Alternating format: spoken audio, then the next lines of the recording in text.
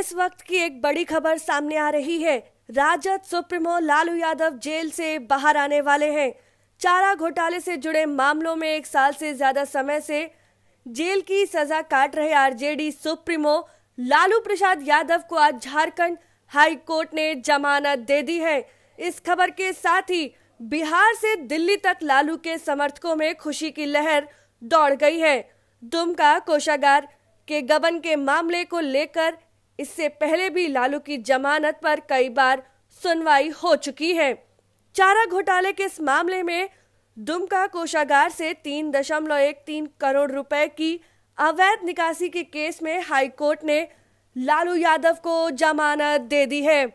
Jharkhand high court में justice Apresh Singh की अदालत ने दुमका कोषागार मामले में सुनवाई के बाद आरजेडी प्रमुख को जमानत देने का फैसला सुनाया। अदालत में case number R C thirty eight मामले की आज सुनवाई हुई। दुमका कोषागार से तीन करोड़ रुपए से ज़्यादा की अवैध निकासी मामले से पहले लालू यादव को चाईबासा और देवघर मामलों में पहले ही जमानत दी जा चुकी है।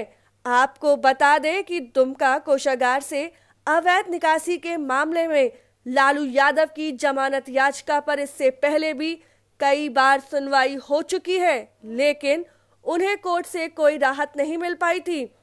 गौरतलब है कि बीते दिनों पिता लालू यादव की रिहाई के लिए बेटी रागनी आचार्य के रोजा रखने की खबर आई।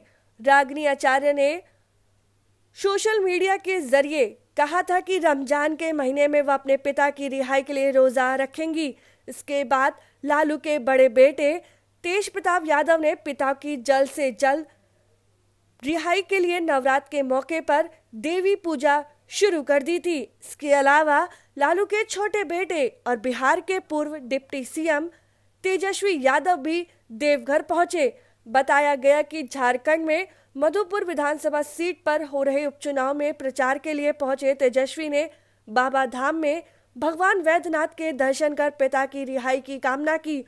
गौरतलब हो कि राजद सुप्रीमो लालू यादव पिछले महीने 23 जनवरी को रांची के रिम से दिल्ली एम्स में शिफ्ट किए गए थे। उनकी तबीयत ज़्यादा खराब होने पर उन्हें रांची से चार्टर्ड प्लेन से दिल्ली ले जाया गया था।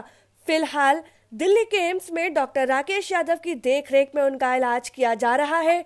उनकी देखरेख में दिल्ली एम्स की एक टीम लगी हुई है। जानकारी के अनुसार लालू यादव लंग्स, किडनी और हार्ट की बीमारी से जूझ रहे हैं।